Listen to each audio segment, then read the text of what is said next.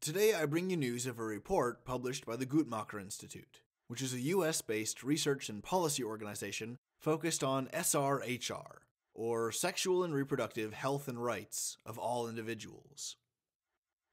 Philanthropedia named them as the number one organization in the field of reproductive health, and Charity Navigator, an independent charity watchdog group, has given the Guttmacher Institute its highest rating every year since 2010.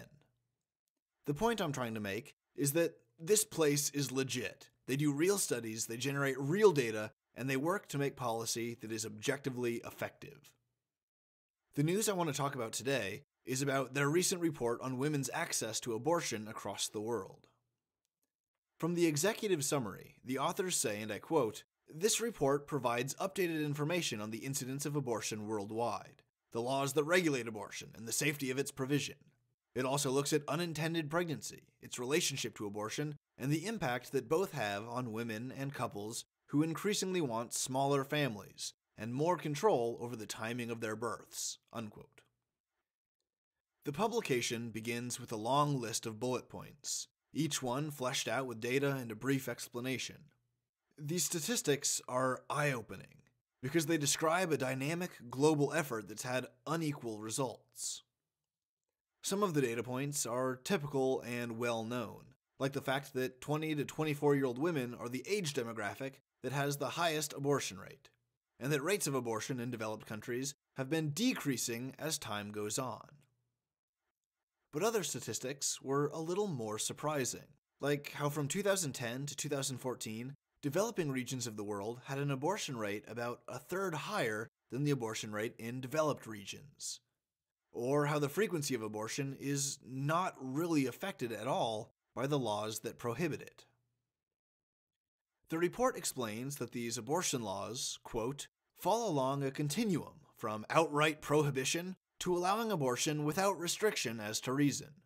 As of 2017, 42% of women of reproductive age live in the 125 countries where abortion is highly restricted prohibited altogether, or allowed only to save a woman's life or protect her health. Unquote.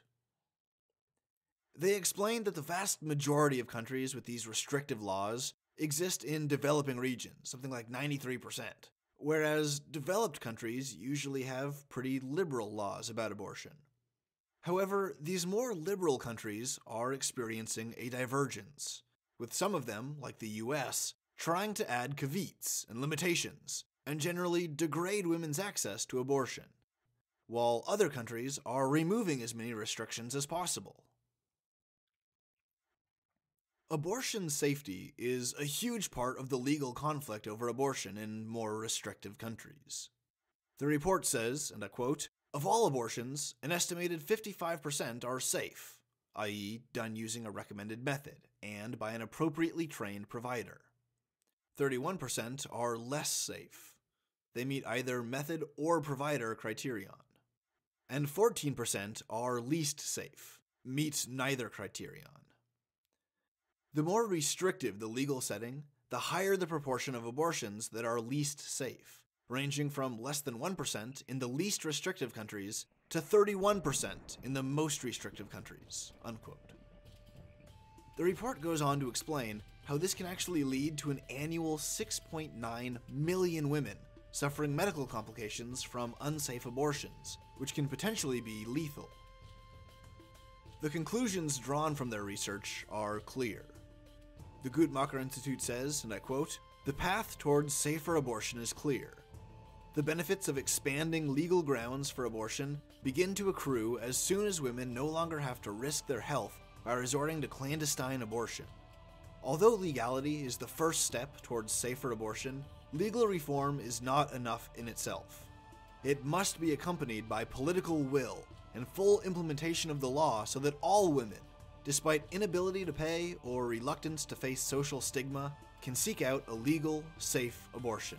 Unquote.